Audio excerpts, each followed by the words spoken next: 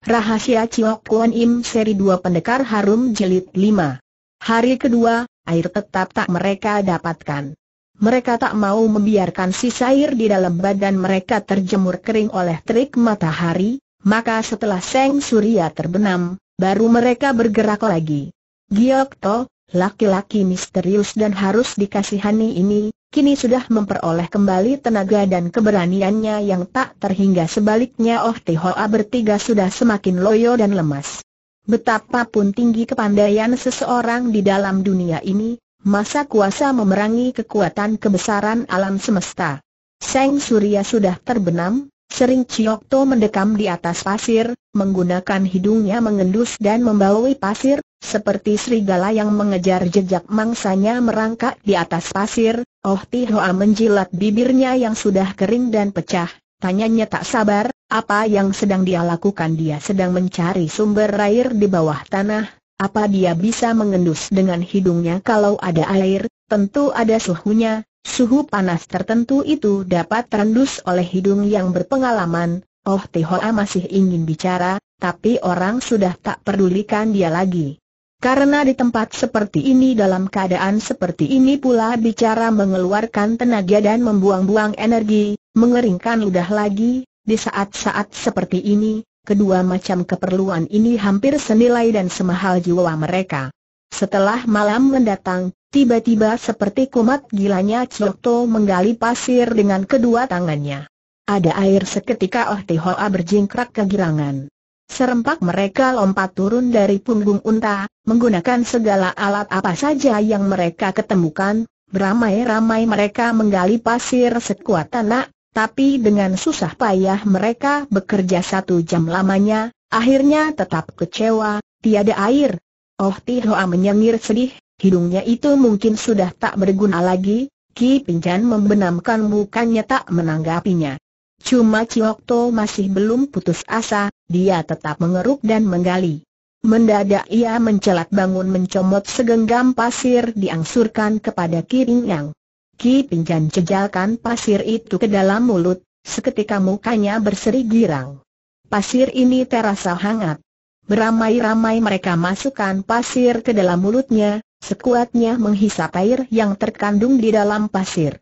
Air, memang terlalu minim, tapi bagi seseorang yang sudah dekat ajal karena dahaga sudah cukup untuk merenggut pulang jiwanya dari cengkeraman maut mereka mengeduk lebih giat, lebih keras dan mati-matian, menghisap sekeras-kerasnya.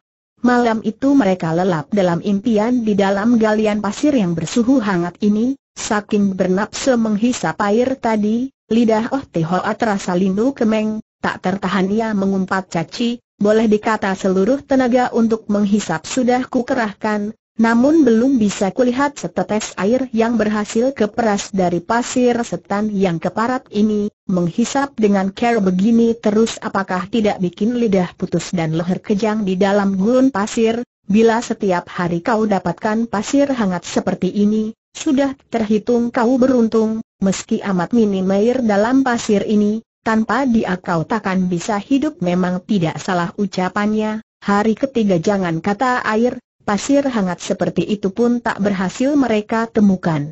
Tenaga untuk berjalan pun sudah tiada, untunglah hari keempat, Ciokto berhasil menemukan lagi. Pasir di sini lebih banyak mengandung air. Berkata Kiping yang menerangkan, Ciokto menyelusuri jalur lajur urat air bawah tanah baru berhasil menemukan yang ini, dilihat keadaan tempat ini, tak jauh dari sini tentu kita bisa menemukan sumber air yang lebih besar, dengan badan lebih segar, mereka kerahkan tenaga dan menghimpun semangat bergerak maju lebih lanjut. Sekonyong-koyong di kejauhan sana mereka melihat pemandangan serba hijau, seperti permadani terbentang luas kehijauan itulah Hoase, tanah subur yang banyak air dan tumbuhan yang hidup subur di gurun pasir. Dengan sekuat tenaganya Oh Teho aku cek-kucek matanya, katanya, apakah macuku sudah lamur semoga ini bukan pandangan di dalam hayalan kita, Choh Liu Hi yang tertawa getir. Setelah dekat, terdengar di antara pepohonan yang menghijau subur di tengah-tengah AC sana, kumandang gelak tawa orang-orang yang riang gembira. tapi bagi seseorang yang baru saja lolos dari cengkeraman mara bahaya di tengah gurun pasir yang tak kenal kasihan ini, gelak tawari yang gembira itu kedengaran amat menusuk dan seram menakutkan. Oh Tihoa diliputi ketegangan pula karanya, apa di sinikah sarang rahasia Cioko Im?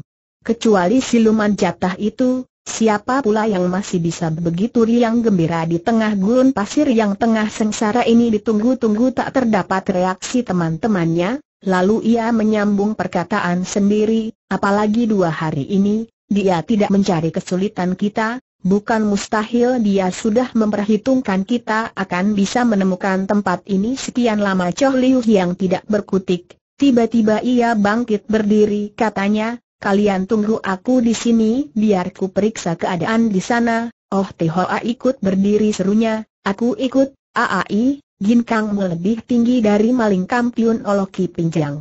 Oh Tihoa meloso duduk pula, mulutnya terkancing. Bukan saja oase ini amat indah, ternyata cukup luas pula, di tengah gurun pasir yang serba buruk ini, mendadak muncul tempat seindah ini boleh dikata seperti dalam dongeng saja. Di tengah rimbunnya dedaunan, sering terdengar tawa cekikikan medru bagai kelintingan. Apa benar ini alam hayal di dalam dongengan itu atau alam iblis dan yang tersembunyi di dalam rumpun dedaunan itu, apakah bukan siluman perempuan yang suka memincut dan akhirnya memakan orang-orang pelancongan yang kesasar jalan? Setelah menarik napas dengan hati-hati Choh Liu yang meluncur ke sana walau ginkangnya sekarang jauh berkurang dari keadaan biasa, tapi tak perlu disangsikan masih termasuk tingkat tinggi jarang ditemukan tandingannya. Dengan ringan seperti burung ia hinggap di puncak pohon. Dari sela-sela dedaunan yang rimbun ini, seketika ia melihat suatu pemandangan yang bisa bikin hati kebat-kebit, membuat orang linglung dan sukar dipercaya. Di sana terdapat dua empang besar kecil yang berair bening menghijau. Di sini empang yang rada besar di tempat yang rada jauh sana terdapat tiga bangunan kemah yang indah dan mewah. Di depan kemah berdiri tegak beberapa busu yang bersenjata tombak mengkilap berpakaian serba berkilauan pula. Sementara empang kecil itu dipagari beberapa lembaran kain sari sehingga keadaan di sini tertutup dan teraling tak kelihatan seorang gadis jelita berambut panjang sedang mandi di dalam empang. Berat dan hampir berhenti napas Choh Liu Hiang. Dalam keadaan seperti ini, malah tiada seleranya menikmati kecantikan seorang gadis, tapi gadis telanjang dengan lekak-lekuk badannya yang berisi montok basah dengan hiasan butiran-butiran air dipaparkan di depan mata, mau tidak mau matanya jadi melotot dan tergerak hatinya. Begitu indah tubuh semampai yang halus putih itu, di bawah pancaran sinar seng surya yang mulai terbenam di ufuk barat, mirip benar sebentuk patung Dewi yang sempurna tiada cacatnya, butiran air yang berkilauan kekuningan, berderet di atas jidatnya yang bidang terus mengalir turun ke tengah dua bukit menonjol yang putih menyusul suara tawanya semerdu kicauan burung senyaring kelintingan, tak ubahnya laksana ratusan kuntum kembang mekar bersama. Masih ada tiga empat gadis lainnya pula yang bersanggul berdiri berjajar di pinggir empang, ada yang membawa handuk, ada yang membawa kain sari panjang, ada pula yang membawa alat-alat mandi, mereka sama cekikikan riang gembira, mereka bersenda gurau saling mendulang air dicipratkan ke muka teman-temannya. Choh Liu Hiang yang baru saja keluar dari siksaan derita kekeringan di tengah padang pasir, perut kelaparan, mulut kekeringan badan terlalu letih, lolos dari mara bahaya lagi, mendadak terhadap adegan atau tontonan yang begini mengasyikan, Sungguh sukar dia percaya atas pandangannya sendiri bahwa dirinya sudah berada di kahyangan di sorga. Dalam keadaan seperti ini Choh Liu yang lupa akan tugasnya, lupa apa yang harus dia lakukan, lupa bahwa teman-temannya masih menunggu kabar di gurun pasir sana. Semula raut muka gadis mandi itu tertuju ke arah sana, kini kerlingan matanya tiba tertuju ke arah tempat persembunyian Choh Liu Insaf bahwa jejaknya sudah diketahui oleh orang. Gadis lain bila ketahuan ada orang apalagi laki-laki dewasa sedang mengintip dirinya sedang mandi, tentu menjerit dan lekas-lekas berusaha mengenakan pakaian, tapi gadis ini mengering, lambat-lambat dia malah berdiri dan tegak laksana sekuntum kembang teratai yang baru saja mekar dan menongol dari permukaan air. Muka Choh Liu Hi yang serasa panas malah, sekilas ia melihat kesempurnaan seluruh badan si gadis yang semampai dan montok itu, lekas sekali orang sudah sembunyi dalam libatan kain sarinya yang panjang. Lalu memutar badan ke arah Choh Liu Hiang, katanya kalem, orang yang mengintip itu memangnya kau belum puas suaranya memang merdu dan halus mengalun, seperti kicauan burung kenari, cuma logat bicaranya kedengaran rada kaku dan sember, seperti gadis gunung yang baru saja belajar bahasa kota. Diam-diam Choh Liu yang menghela napas dengan tertawa getir, dia lompat turun dari pucuk pohon, selama hidupnya, boleh dikata belum pernah dia mengalami keadaan serunyam seperti hari ini. Sungguh ia tidak suka kalau dirinya disangka dan dimaki sebagai pemuda pemogoran yang metu keranjang, lebih baik tak ia harapkan di dalam keadaan seperti ini dia harus menemui dan berhadapan dengan gadis jelita bagai bidadari ini. Tapi dia tak mungkin lari terpaksa ia keluar dengan mengeraskan kepala. Dari atas ke bawah gadis ini mengamat-amati dirinya, sorot matanya yang semula ditandai kobaran api dalam hatinya, lambat laun seperti berubah menjadi tenang, katanya melompat kepada Choh Liu Hi yang tidak kecil ya, nyalimu, tidak kau melarikan diri, Choh Liu Hi yang unjuk tawa getir, sahutnya, meskipun Cai Ha tidak sengaja, tapi aku harus menyatakan penyesalan yang luar biasa, jikalau mau lari, masakah tidak memalukan berkilat kerlingan mata si gadis, katanya, jadi kau mengakui salah dan kemari mau terima hukuman? Ya begitulah Choh Liu yang mengiyakan.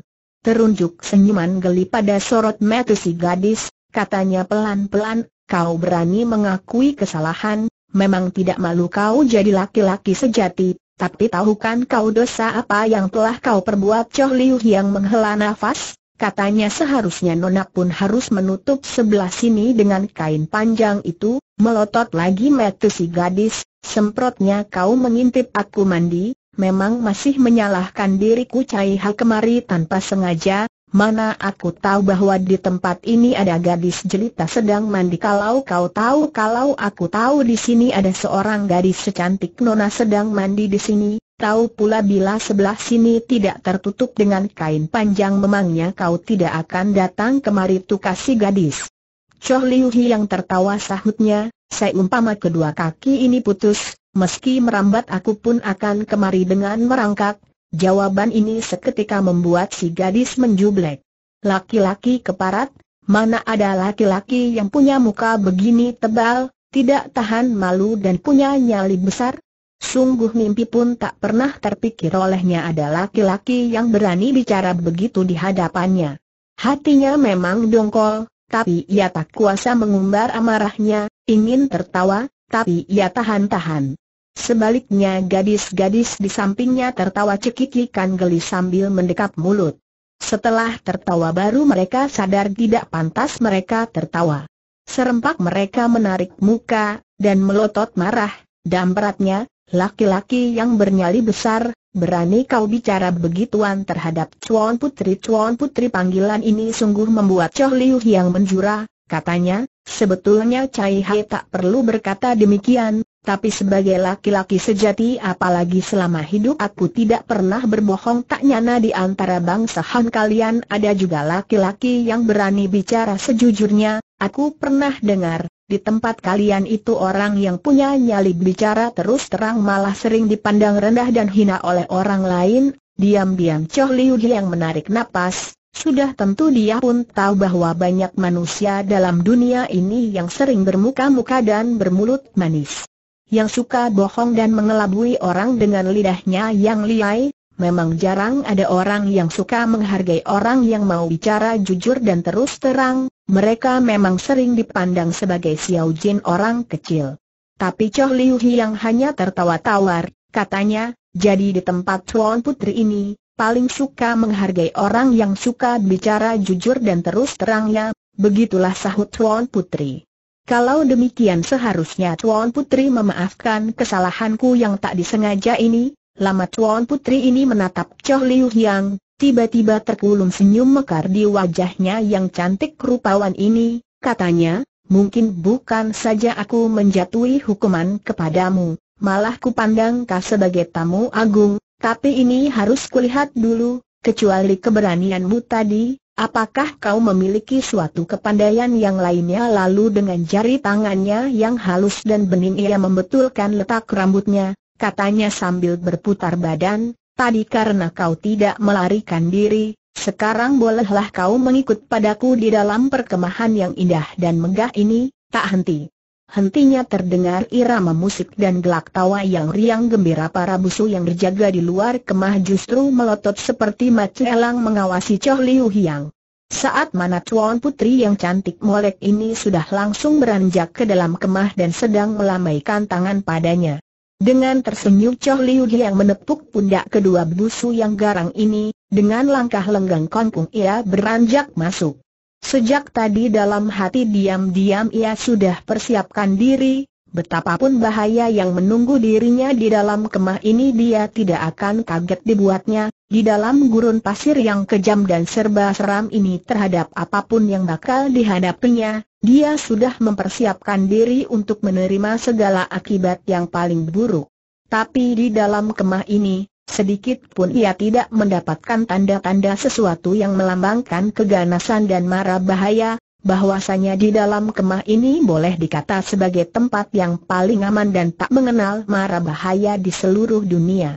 Di luar kemah terbentang tanah rerumputan yang menghijau elok dan empuk, di dalam kemah sebaliknya justru dilapisi permadani yang puluhan kali lebih empuk dan puluhan kali lebih elok dari sesuatu yang empuk dan elok.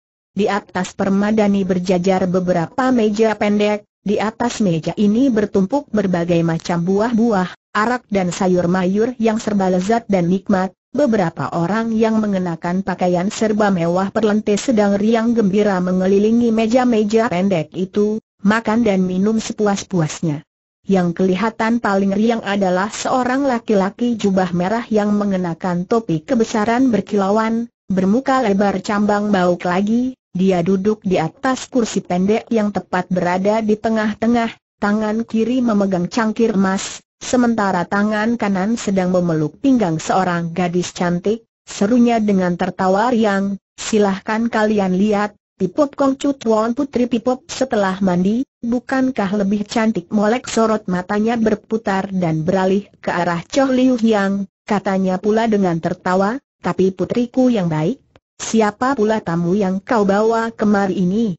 Kuingat di sekitar sini sejauh ratusan li, tiada seorang laki-laki yang lebih tampan seperti dia Pipop Kong Chu unjuk tawa manis, Selincah burung walet Tia menghampiri ayahnya dan duduk di sampingnya dengan membungkukkan badan, dia berbisik-bisik di pinggir telinga ayahnya.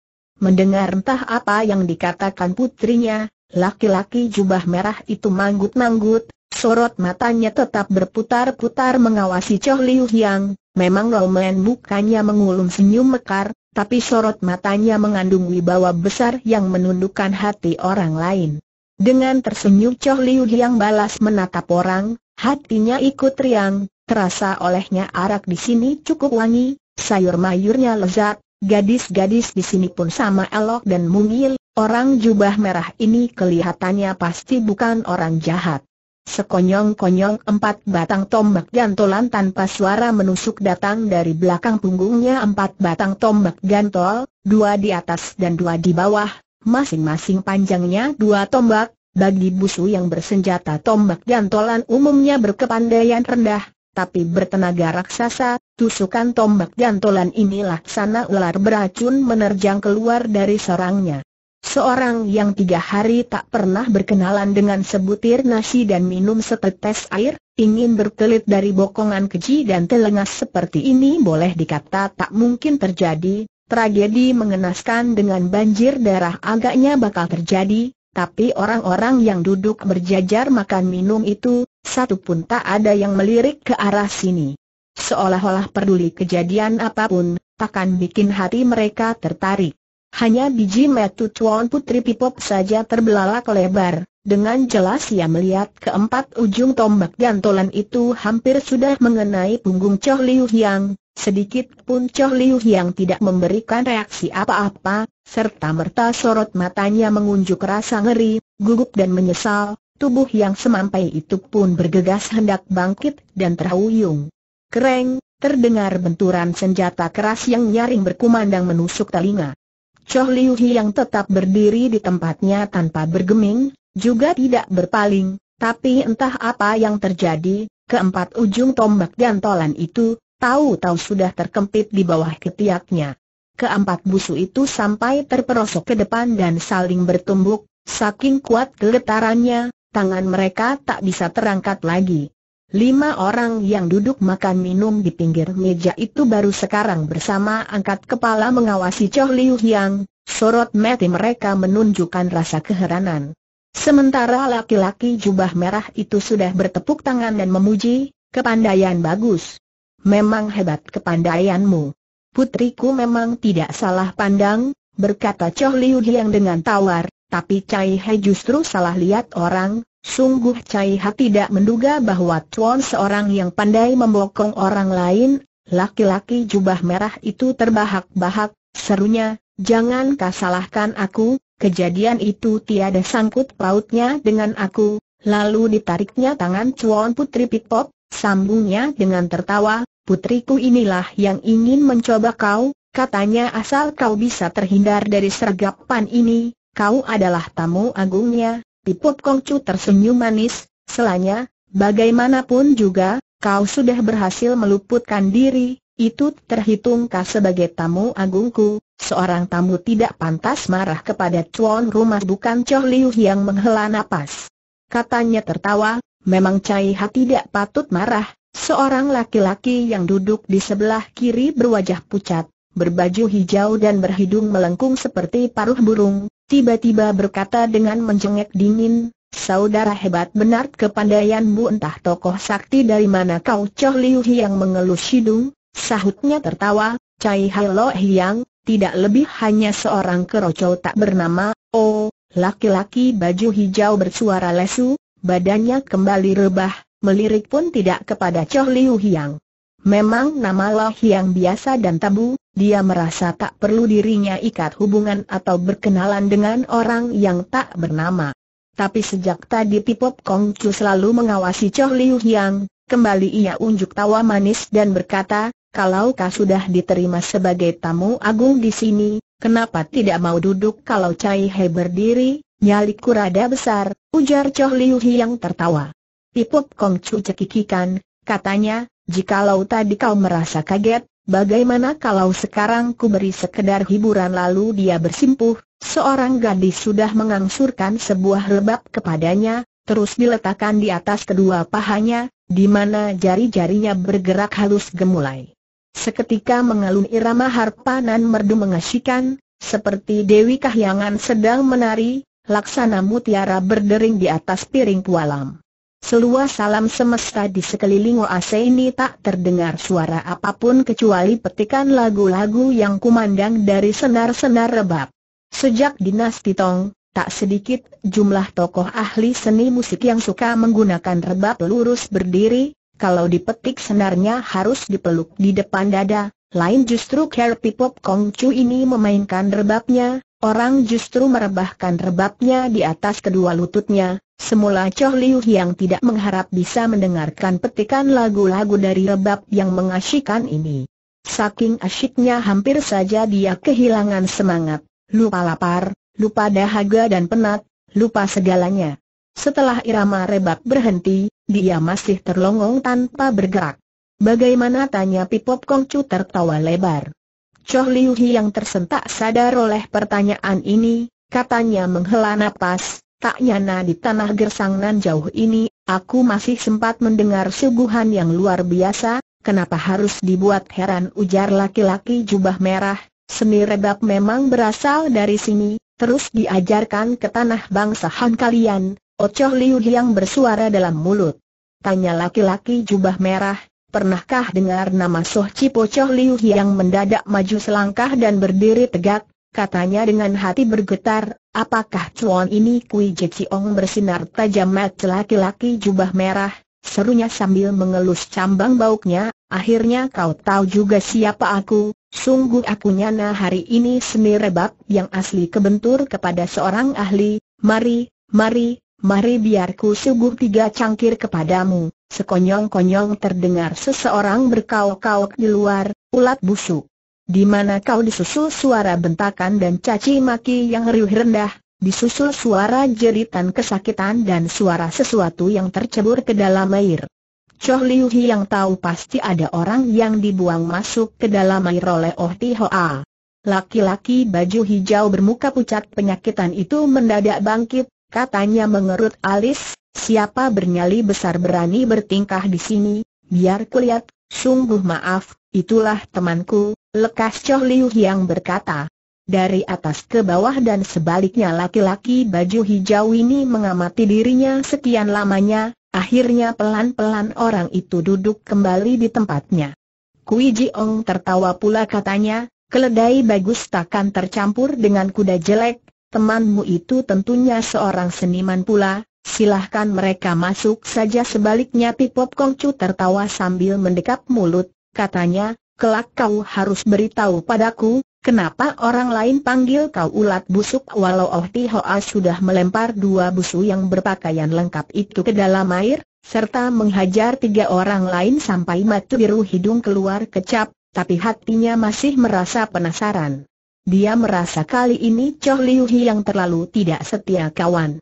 Seorang diri dia makan minum di sini, orang lain sebaliknya harus berjuang mengadu nasib, khawatir bagi keselamatannya lagi. Setelah beberapa cangkir arak masuk ke dalam perutnya, terhitung terlampias rasa dongkolnya, terutama dihadapi gadis cantik rupawan yang meladeni dirinya minum arak ini, begitu elok dan mungil sehingga dia merasa terlalu kasar bila mengumbar marah di sini. Sekarang Choh Liu yang sudah tahu, orang-orang macam apa saja yang duduk berkerumun makan minum di sini, Kelima orang ini adalah tokoh-tokoh yang cukup tenar dan dijunjung tinggi tingkatnya di kalangan Kang Ou. Tiga orang yang duduk di sebelah kiri, kiranya adalah dua bersaudara dari keluarga Go Yeu Hang Kiam yang kenamaan, seorang lagi adalah begal tunggal yang menggoyahkan daerah dua sungai gede Sui C adanya. Laki-laki baju hijau yang pucat pasi itu, namanya lebih tenar dan tingkatannya lebih tinggi, dia bukan lain adalah Sat Jiu Bu Cheng tangan gagah tak kenal kasihan Tohoan yang terkenal kejam dan suka membuat pusing kepala kawan-kawan dari aliran putih dan hitam. Rekor orang ini dalam membunuh, konon jarang ada bandingannya, orang lain pandang dirinya laksana ular dan kala jengking, dia sendiri merasa bangga dan pongah. Tapi setelah mengenal orang ini, mau tidak mau berkerut alis Choh Liu Hiang. Cuma seorang lagi yang duduk di samping Tohoan bernama Ong Tiong, mukanya seperti berpenyakitan, tak punya semangat selalu lesu dan ngantuk, juga kelihatannya raut mukanya takkan mengejutkan orang, namanya pun tak begitu terkenal. Tapi Choh Liu yang justru merasa pandangannya rada lain terhadap orang ini. Setelah satu persatu perkenalkan beberapa orang ini, Kui Jeong angkat cangkir dan katanya pula, Xiao Ong tiada hobi apa-apa, selama hidupku cuma suka menjamu tamu. Kelima orang ini adalah tamu agungku yang kuundang dari tempat jauh. Tentunya kalian bertiga pernah mendengar ketenaran nama mereka, Oh Tihoa tertawa besar, katanya, ketenaran nama-nama saudara-saudara ini, memang sudah lama ku dengar, silahkan ku suguh secangkir kepada kalian, bahwasanya sedikit pun ia tidak kagum dan belum pernah mendengar nama mereka, tak lain dia hanya cari kesempatan untuk minum lebih banyak. Kui Jeong mengawasi Ki Ping Yan, katanya, sekarang hanya nama besar saudara saja yang belum ku ketahui, Ki jawaban Ki Ping Yan cekak aos, kepala pun tak terangkat. Namamu tanya Kui Jeong pula.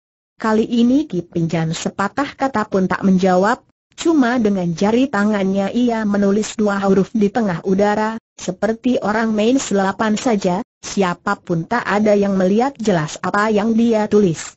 Selah Oh Tihoa, kepandaiannya yang utama memang tutup mulut tak bicara, berkilat mata Kui Jeong, tanyanya, lalu Chuan segera dengan tertawa ia menambahkan, Selama hidup Xiao Ong paling senang berkenalan dengan orang-orang yang berkepandaian tinggi dalam ilmu silat, tadi temanmu ini sudah mendemonstrasikan kepandaiannya, jikalau Chuan punya minat supaya mata Xiao Ong terbuka, sungguh Xiao Ong teramat girang, Cai Hai sudah kenyang minum arak Ong ya, adalah pantas kalau ku tunjukkan permainan untuk menghibur Ongnya. Cuma sayang kecuali minum arak, Cai Hai hanya punya tenaga kasaran belaka, semakin girang Kui Jeong, serunya bertepuk, bagus, Bagus kiranya Tuan seorang yang punya tenaga raksasa, lalu tapak tangannya bertepuk beberapa kali, dari belakang kemas segera muncul keluar seorang laki-laki besar berkepala gundul, telanjang badan bagian atasnya dan bercelana pendek ketat yang dihiasi sulaman benang emas. Selama hidup tak sedikit Oh Tehoap pernah melihat laki-laki yang bertubuh tinggi kekar, dia sendiri pun berperawakan besar, tapi dibanding dengan laki-laki itu, dirinya seperti anak kecil. Kecuali patung tembaga di dalam kuil, atau raksasa dalam dongeng bergambar yang membendung banjir, sungguh tak pernah terpikir olehnya, dalam dunia ini ada laki-laki raksasa seperti ini gedenya. Kui Jeong tertawa, ia memperkenalkan, inilah laki-laki kasar dari negeri kami Gunial, Bawan hanya hanya tenaga kerbau yang kasaran, Ku harap kau suka menaruh belas kasihan, memberi kelonggaran kepadanya, mengawasi sekujur badan laki-laki raksasa yang bernama Gunial dengan daging ototnya yang meringkel keras seperti dibuat dari besi baja ini, diam-diam dingin bulu keduk Oh Tehoa, katanya keras, apa Ong ya ingin supaya aku adu tenaga dengan diakui Jeong Manggut? sambil tersenyum, lalu bicara beberapa patah dengan bahasa negeri mereka kepada Gunial, Laki-laki raksasa ini lantas unjuk seringai lebar kepada Oh Tiahoa dengan langkah berat, lekas dia datang menghampiri. Oh Tiahoa menghela napas, katanya kepada Chow Liu Hiang, tahu begini, lebih baik aku tidak minum arak saja, belum habis ia bicara tapak tangan laki-laki raksasa segede kipas itu, sudah terjulur kepadanya. Tak tahan gelito Hoan terpingkal-pingkal di pinggiran sana.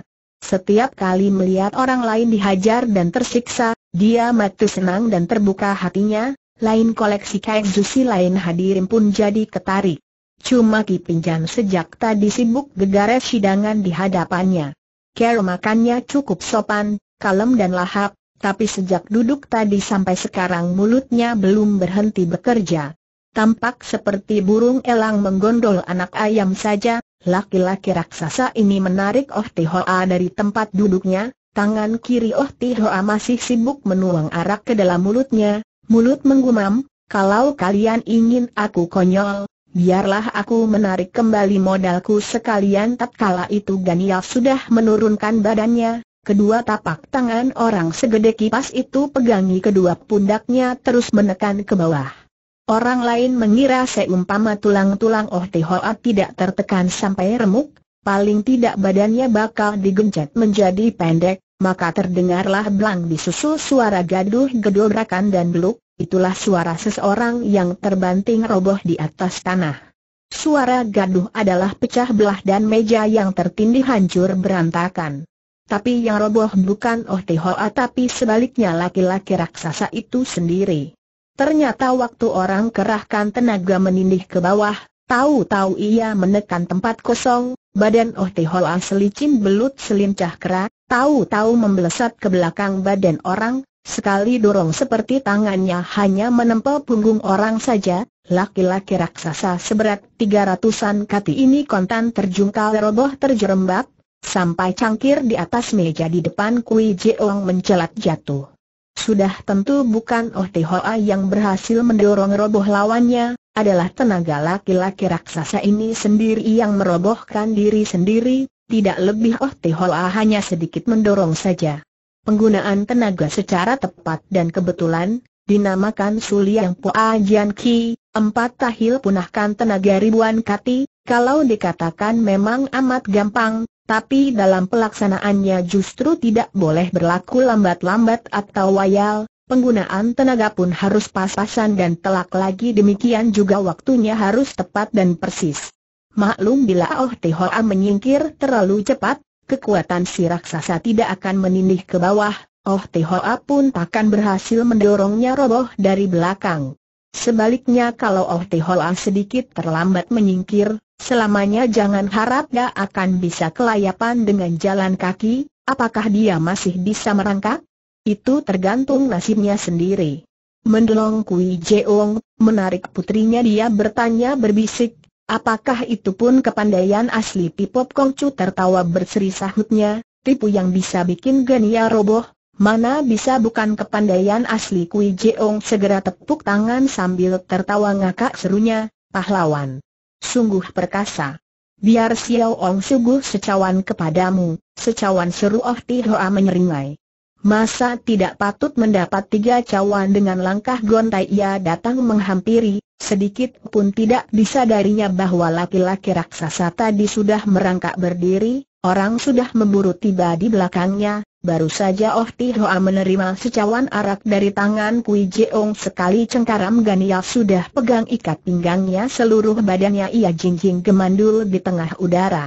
Metu Kui Jeong mendelik lempang, teriaknya, arak itu amat bagus anugerah Ung Ya, kau banting hancur badanku tidak menjadi soal. Jangan sekali-kali kau bikin arak ini tumpah lo dengan pongah kesenangan, Laki-laki raksasa menjinjing badannya tinggi-tinggi sambil berjalan putar dua lingkaran, bukan saja dia tidak tergesa-gesa, Choh Liu Hiang, Kiping yang kelihatan adem ayem. Bersinar biji mata Sanjiu Bu Cheng Tong Hoan katanya sambil menghela napas, banting. Banting yang keras, sampai hancur lebur tak menjadi soal bukan saja hobi membunuh manusia sudah menjadi watak orang ini, melihat orang membunuh jiwa orang lain pun, dianggapnya sebagai tontonan yang menarik. Setiba di hadapan Kui Jeong, laki-laki raksasa tiba-tiba menggembur laksana singa mengaum badan Oh Hoa diangkat lebih tinggi sedikit terus dibanting sekenanya ke arah tanah di depannya. Lekas Kui Jeong menutup kedua kuping serta pejamkan mata, jeritnya, ringan sedikit. Jangan sampai menakutkan hatiku, dia kira seumpama Oh Hoa kali ini tidak dibanting sampai hancur lebur, tulang-tulang badannya pastilah protol, seluruhnya mungkin pula batok kepalanya pun remuk. Maka terdengar pula sekali jeritan keras disusul suara gedebukan yang menggetarkan bumi. Batok kepala Oh Hoa bukan saja masih tumbuh segar bugar di atas lehernya, tulang-tulang tubuh pun tidak protol, Orang berdiri tegak di tempatnya tetap utuh dan tersenyum senang, arak dalam cawan dipegangi sejak tadi setetes pun tiada yang tercecer keluar. Sebaliknya laki-laki raksasa itu kembali roboh dan rebah tengkurap, bergerak pun tak bisa lagi. Seperti tak pernah terjadi apa-apa. Oh Tihoa melirik pun tidak kepada orang, katanya berseri tawa, secawan arak ini, sekarang barulah bisa kuirup dengan nikmatnya cawan diangkat arak pun ditenggak sekali jadi lalu katanya menghela napas, memang arak bagus, sayang terlalu sedikit. Dengan Matt mendelik Wei Jeong berkata berbisik, apakah yang terjadi? Apakah kesatria ini bisa main sulapan ini? Bukan sulapan, ini pun kepandaian sejati, sahut Pipop Kongcu. Kepandaian apakah itu tadi waktu genial kerahkan tenaga hendak membanting, Kesatria ini lantas mengoprol di pergelangan tangannya, kekuatannya seketika sirna tak berbekas, dengan ringan kesatria ini lantas melompat turun, melejit ke belakangnya cuma sedikit sorong care, turun tangan kesatria ini memang teramat cepat dan mengejutkan oleh karena itu orang lain hakikatnya tidak melihat jelas care bagaimana Ganyal kena dirobohkan oleh dia, tutur katanya lincah enteng, cepat dan menarik, bukan saja Chow Liu Hiang, Ki Pinjan sedang sama memperhatikan dia, Oh Tehoa pun datang menghampiri katanya sambil menghormat. Terima kasih akan pujian Chuan Putri, tajam benar pandangan matu Chuan Putri Kui Jeong menarik tangan Pipop. Kongcu, serunya tertawa besar, kalau kau sudah melihat kehebatannya, kenapa tidak kau hatur secangkir arak kepadanya? Pipop Kongcu tersenyum dengan menggigit bibir, Segera ia menuang secangkir arak terus diangsurkan ke depan Oh Tehoa, hampir saja mulut Oh Tehoa tak bisa terkatup saking kesenangan, serunya, Chuan Putri memberi arak jangan kata cuma secangkir, umpama segentong pun, sekaligus akan kuhabiskan, baru saja ia ulur tangan hendak menerima cangkir arak itu, sekonyong-konyong seseorang menjengek dingin, arak secangkir itu cahaya pun ingin meminumnya, di tengah suara ucapannya, seseorang melangkah maju pelan-pelan, ternyata Set Ju Bu Cheng Tohoan itu. Oh Tihoa awasi orang, katanya tertawa, jikalau kau ingin minum arak, di sana masih banyak, Tohoan menyeringai sinis, katanya, arak yang ingin Cai He minum adalah secangkir itu saja, Oh Tihoa tertegun, katanya, apakah secangkir arak itu terlalu wangi? Benar, arak yang dituang oleh jari-jari Tuan Putri sudah tentu amat wangi, sesaat lamanya Oh Tihoa mengamat-amati muka orang katanya geli, aku paham sudah, kau bukan ingin minum arak, tujuanmu ingin mencari gara-gara dengan orang lain, Tohoan mengawasinya dengan menyeringai Dian, orang tidak mengiakan juga tiak mungkir. Kalau kami berdua sama-sama ingin minum secangkir arak ini, bagaimana menurut kau jikalau kau bisa membuatku tersengkelit jatuh? Bukan saja aku tidak akan minum arak itu malah aku berlutut dan memanggilmu cocong kakek moyang tiga kali. Kalau sebaliknya, kau harus memanggil kakek tiga kali Oh Tihoa menarik napas, katanya seperti menggumam, Kenapa orang lain minum arak dengan ongkang-ongkang aku ingin minum harus dirintangi dan mendapat kesukaran malah. Baiklah. Boleh kami coba-coba cuma, orang segede dan setua kau ini kalau sampai memanggilku cocong, aku jadi rikuh dan risih suasana dalam perkemahan itu sontak menjadi tegang, sudah tentu jauh lebih tegang dari keadaan pertandingan Oh Tihoa melawan Ganial tadi, karena semua hadirin tahu di tengah-tengah kedua alis Tohoan sudah diliputi hawa hitam, nafsu membunuh sudah menghayati hatinya. Semua hadirin tahu, pertandingan kali ini bukan adu kekuatan main-main saja, tapi adu kekuatan dengan pertaruhan jiwa. Dengan berbisik berkata Ki Pinjan kepada Chow Liu Hiang, sudah lama ku dengar Set Jiu Bu Cheng Tohoan ini terlalu kejam dan bertangan gapah, wataknya pun terlalu licik dan telengas, lebih baik kau sedikit memberi bantuan kepada Oh Hoa, tak apa-apa, sahut Chow Liu Hiang. Setan arak ini belakangan memang sedang tenggelam dalam gentong arak, tapi kepandaiannya tidak pernah dilalaikan, tampak Toh Hoan berdiri sambil menggendong kedua tangan, tegak berdiri di sana dengan acuh tak acuh, tapi seperti menantang, raut mukanya membesi hijau, Matanya menyorotkan sinar hijau berkilauan menatap Oh Tehoa, jengeknya dingin, biar aku berdiri di sini tanpa bergerak, masakan cuan tak berani kemari Oh Tehoa cengar-cengir, ujarnya, kau ingin care bagaimana aku menyengkelit mau? Kau ingin terjengkang ke depan? Atau terlentang ke belakang umpama kau mampu bikin badanku terbungkuk sedikit saja, anggap saja kau yang menang, Masa kau tak membalas ingin kulihat mampukah kau menjegalku roboh? Bukan maksudku menjegal kau, baik. Begitu saja dengan kalem selangkah demi selangkah ia maju menghampiri.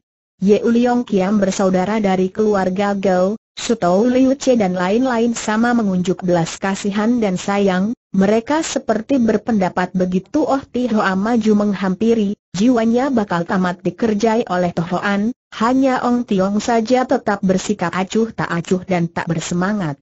Membuka mata pun rasanya malas. Sembari menghampiri, mulut Oh Tihoa menggerutu, awak sendiri tak bergerak terserah lawan menjegalnya sampai roboh sesuka orang, begini menguntungkan, sungguh jarang kutemui dalam dunia ini, agaknya arak ini jelas bakal jadi milikku, setelah lengan baju dicincang, tangannya segera terulur merabat pundak Tohoan, Gaya dan kelakuannya ini mirip benar dengan Ganial waktu menekan dirinya tadi, cuma badannya tidak segede Ganial, kedua tangan tidak mampu menindih ke bawah, terpaksa hanya mendorong ke belakang, dengan kedua tangan mendorong ke depan berarti dadanya terbuka lebar. Tiba-tiba ujung mulut Tohoan menyeringai sadis, katanya, Locu tak bergerak biar kau dorong, mana ada urusan begitu sepele dan menguntungkan dalam dunia ini, Bukankah kau sedang ber, waktu melontarkan kata-kata pertama, tangan kanannya tahu-tahu sudah terulur ke depan segesit tular sanca, langsung menjojoh kepada Oh Hoa yang terbuka lebar, di tengah cahaya pelita yang terang benderang, semua orang melihat jelas jari-jari tangannya berkilauan hitam. Ternyata kelima jarinya masing-masing mengenakan lima buah cincin hitam yang mengkilap, dilihat dari cahaya hitam mengkilap yang jelek itu, terang cincin-cincin baja itu telah dilumuri racun yang teramat jahat dan membunuh jiwa orang seketika. Caranya turun tangan ternyata amat cepat dan keji, bukan saja dada Oh Tihoa terbuka lebar, malah seluruh badannya seolah-olah berada di dalam pelukan orang, mandah dihajar orang tanpa bisa berbuat apa-apa. Pengalaman tempur Ye Uliong Kiam, Sutou Liu Che sebagai tokoh-tokoh bulim cukup luas kini mereka berpendapat Oh Tihoa sekali-kali takkan selamat lagi jiwanya. Choh Liu yang sendiri pun tak urung menjerit, awas tangannya, dalam sekejap itulah, tampak kedua tangan Oh Tihoa yang memegang kedua pundak Tohoan, secepat kilat tiba-tiba menepuk ke tengah, plak seperti menepuk lalat terbang tangan Tohoan mirip lalat itu, dengan telak pergelangan tangannya tergencet kencang oleh tapak tangan Oh Tihoa, sedikit pun tak mampu bergeming. Mulut Tohoan sendiri sedang berkata bukankah sedang berdan belum lagi sempat mengucapkan kata-kata mimpi, maka terdengarlah suara kerak yang keras, pergelangan tangannya tahu-tahu sudah tergencet remuk dan putus. Selincah capung badan Oh Tihoa tahu-tahu sudah melayang mundur, katanya tertawa, Kukira tangannya ini sudah terlalu letih kebanyakan membunuh orang, biarlah dia istirahat selamanya saja, Tohoan kertak gigi, sedikit pun tak mengeluarkan keluhan, tapi mukanya pucat lesi, badannya terhuyung-huyung dan akhirnya jatuh semaput.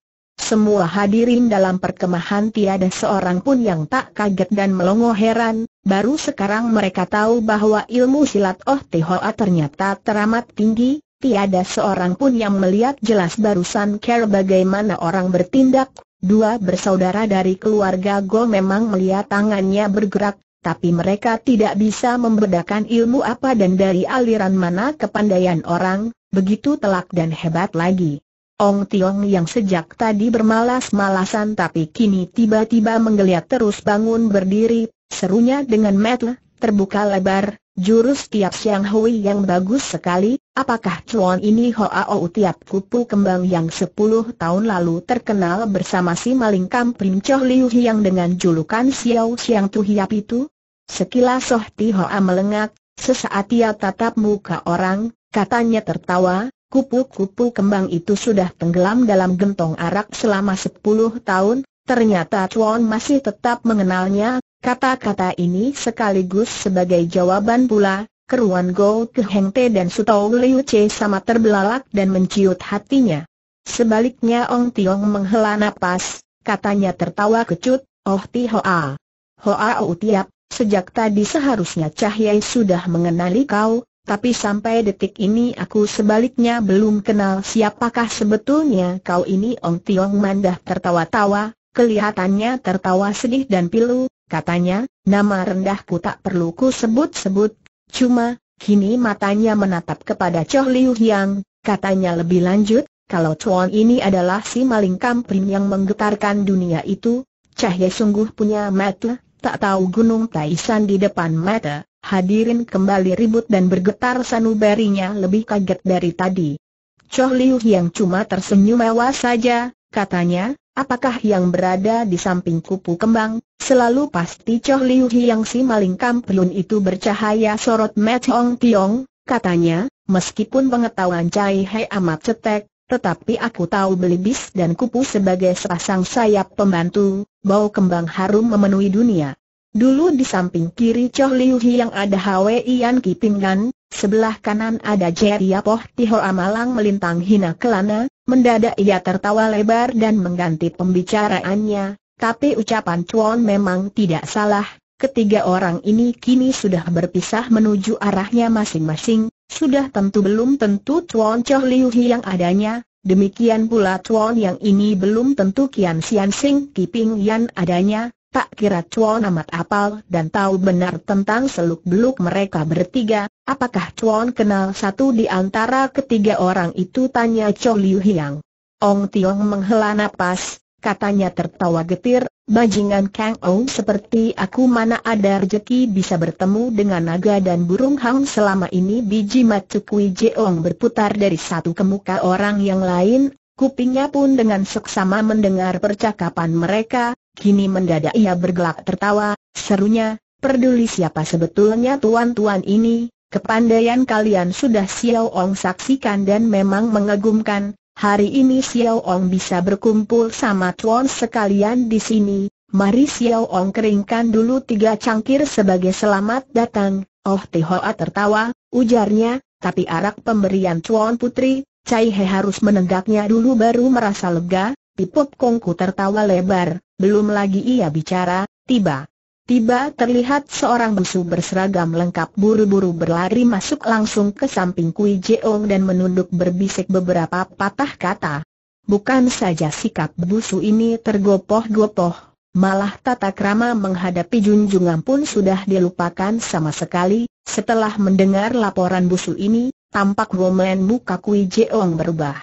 Kiping Yan batuk-batuk kering, Mendadak ia berdiri sambil berkata, Cai He beramai dalam perjalanan yang meletihkan beberapa hari daging dan arak sudah masuk perut, mata pun sudah terbuka lagi, entah sudikah Hong yang meminjamkan tempat istirahat, supaya kami bertiga sempat tidur melepaskan lelah Kui Jeong kembali ke mimik semula, katanya tertawa, sudah tentu boleh, umpama kalian bertiga hendak segera berangkat, Xiao Ong akan berusaha menahan kalian tinggal beberapa lama di sini, bukan saja tawanya tawa paksaan, suaranya pun gemetar dan maksud kata-katanya mengandung arti yang mendalam.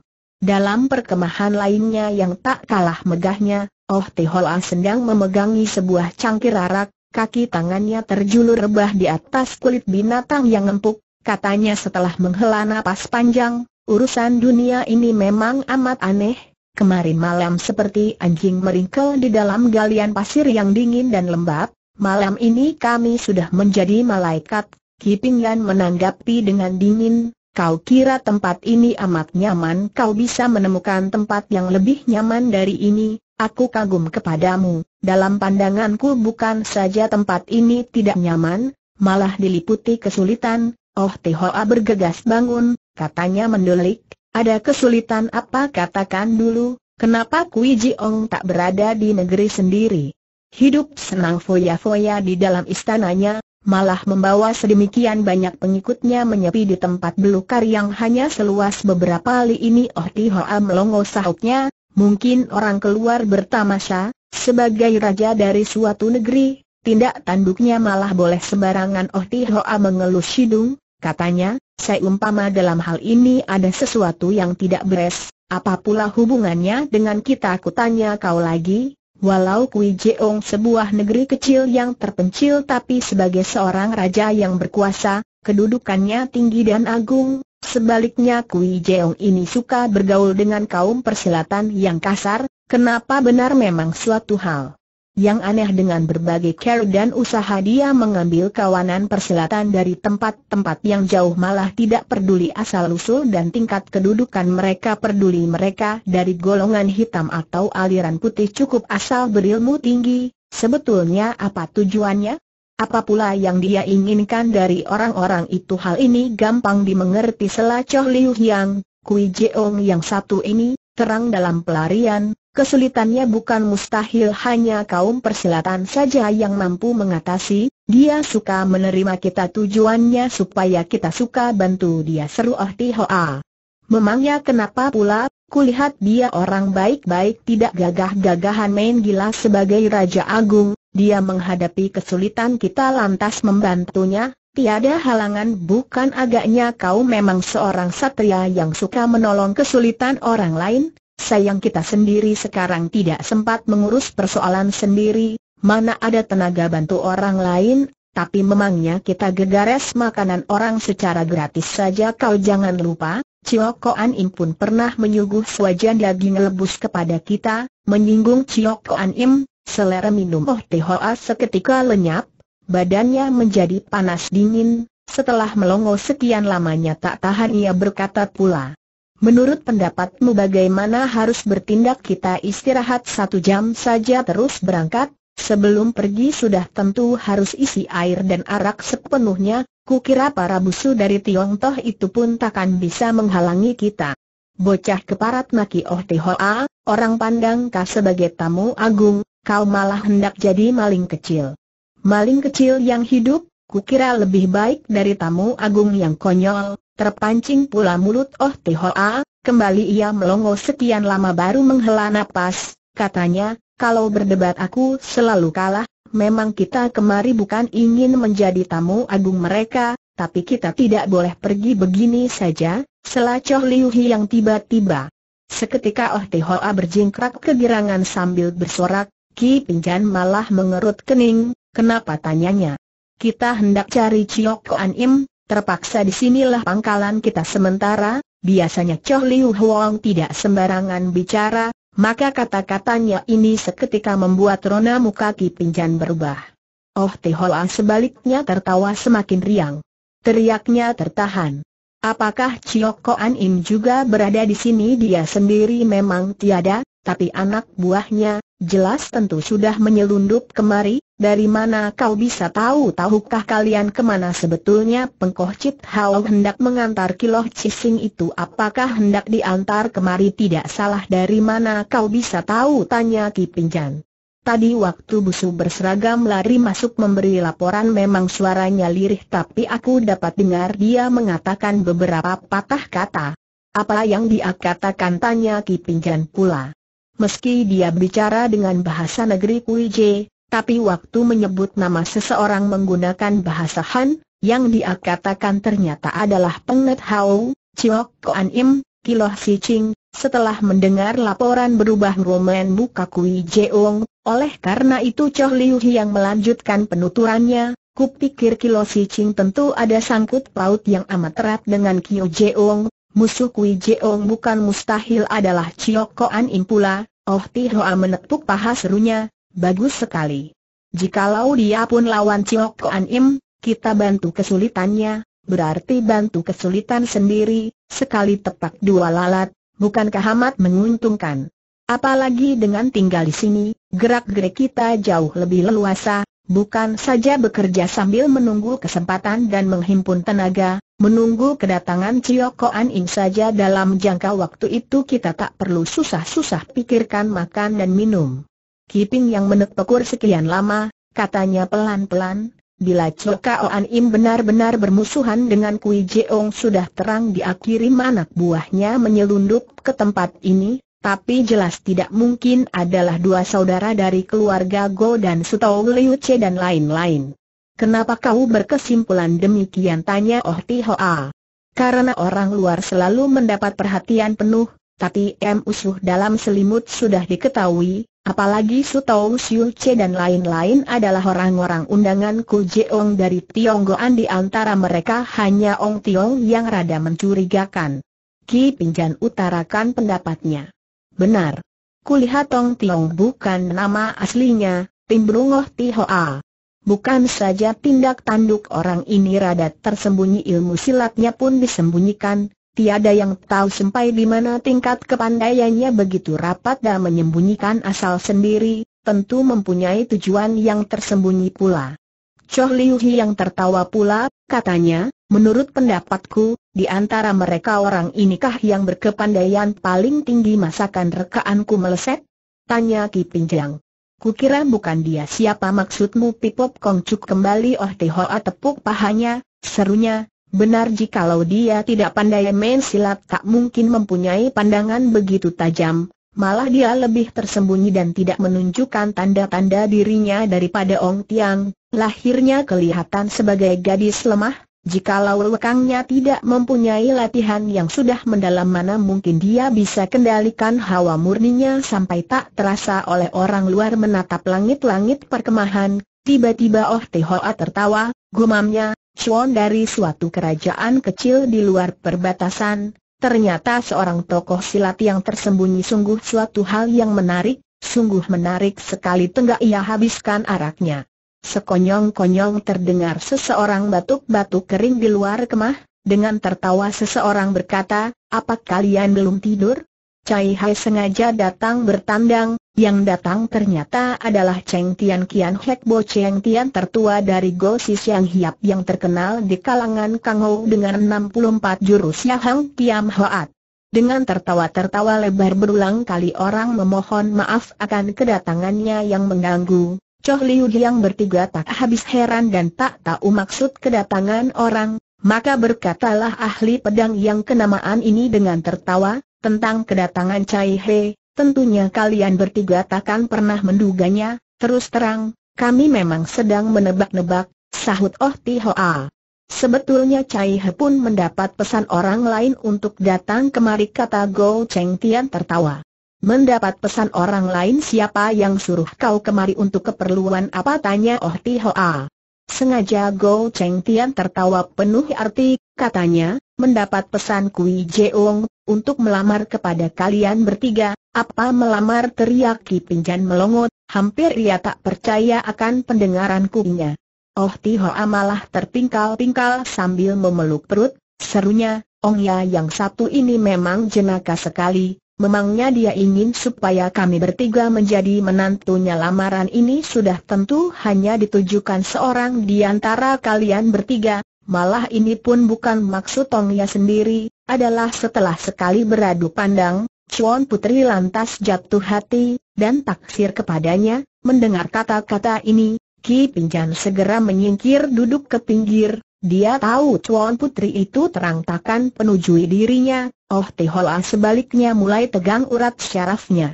Lahirnya Choh Liu Hi yang tetap bersikap tenang dan adem ayem, sorot matanya malah bercahaya, tapi hatinya pun berdebar tegang, dari samping Ki Pinjan saksikan sikap lucu kedua temannya ini, dalam harinya ia tertawa geli. Episode III, Rahasia Ciok Kuan Im